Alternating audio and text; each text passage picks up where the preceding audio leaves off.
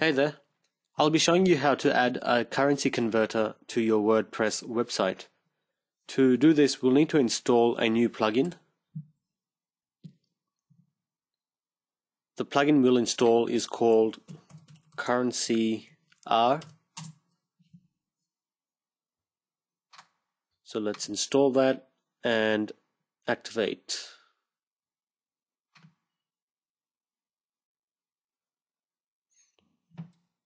Once you do that, you should see a currency R link available in the sidebar. Firstly, choose your base currency. Then choose the provider.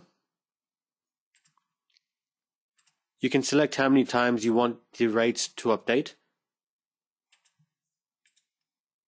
And then leave the rest as default. You can change it if you like. I leave it as default. And then save changes.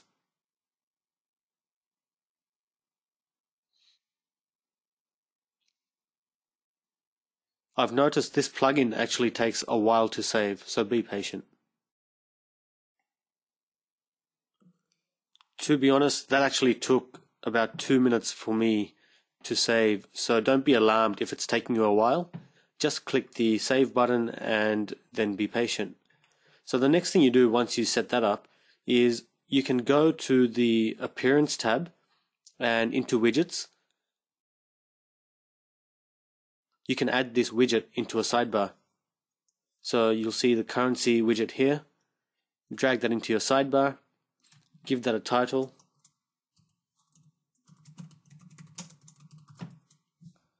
And then in this box here, enter the currencies that you want to display, followed by, separated by commas.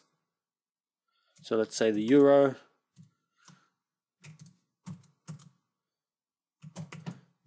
Okay um, then simply click Save. You can choose whether to show the converter or not. You'll see what that looks like in a second.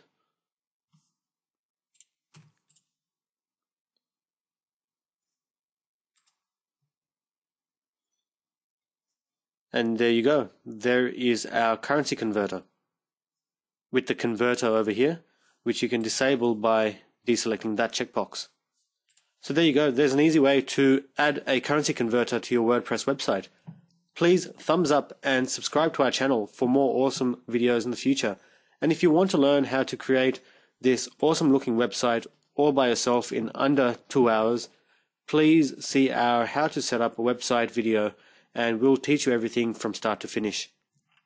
Let me know if you have any questions. See you next time.